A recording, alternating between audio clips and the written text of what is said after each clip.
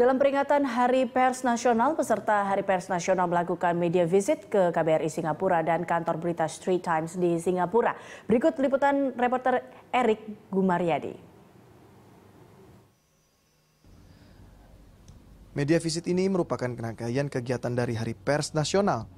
Peserta yang merupakan wartawan dari seluruh Indonesia melakukan kunjungan ke dua tempat di Singapura. Kunjungan pertama ke Kedutaan Besar Indonesia yang berada di Singapura – Para peserta disambut dan diberikan pengarahan oleh Duta Besar Indonesia untuk Singapura, Andri Hadi. Menurut Andri, suatu kehormatan dapat bertukar pikiran dengan pemimpin redaksi media mengenai hubungan bilateral Indonesia dengan Singapura. Uh, ini suatu kehormatan besar bagi kami di Kedutaan Besar Republik Indonesia bahwa uh, kedatangan tamu-tamu dari pemimpin redaksi, serikat pekerja pers keluarga besar wartawan Indonesia ke Singapura tadi lebih dari 300 orang. Uh, tukar pikiran yang sangat uh, baik sekali uh, tadi dengan pemimpin-pemimpin uh, redaksi mengenai hubungan bilateral Indonesia Singapura kita negara yang bertetangga uh, Singapura memiliki kelebihan-kelebihan tertentu Indonesia melebihi memiliki kelebihan. Jadi uh, hubungan yang sangat saya kira terjalin uh, sangat baik selama ini yang seperti kita tahu bahwa Singapura adalah merupakan investor terbesar di Indonesia, eh, nomor satu lima tahun berturut-turut. Selanjutnya, para peserta melakukan kunjungan ke kantor berita Straits Times Singapura.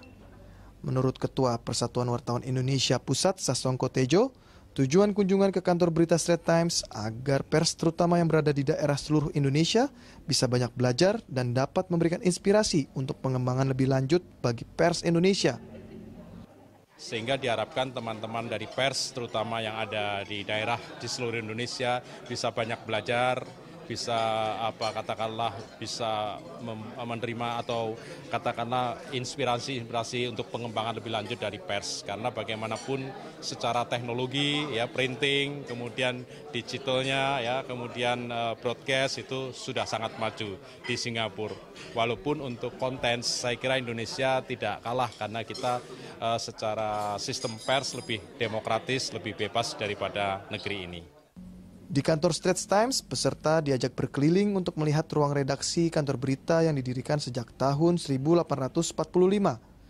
Straits Times merupakan koran terbesar di Singapura yang melakukan peliputan di bidang politik, ekonomi, kemasyarakatan, lingkungan hidup, dan lainnya. Straits Times koran terbesar di Singapura. Kita didirikan sejak uh, 1845 ya. mulai ini di sub editor, jadi yang sub editor. redaksi juga. Redaksi juga ya. Jadi semua kita ada ratus tiga ratusan redaksi.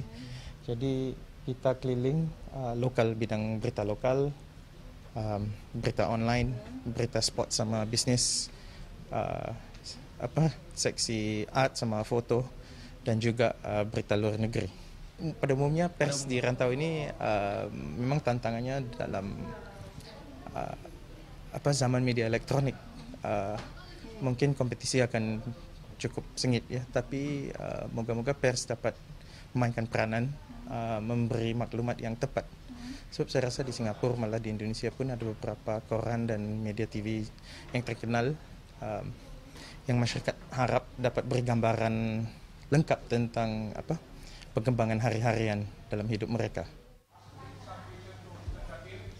Kunjungan peserta Hari Pers Nasional ke kantor berita Straits Times Singapura diharapkan dapat memberikan inspirasi dan wawasan bagi insan pers Indonesia khususnya yang di daerah.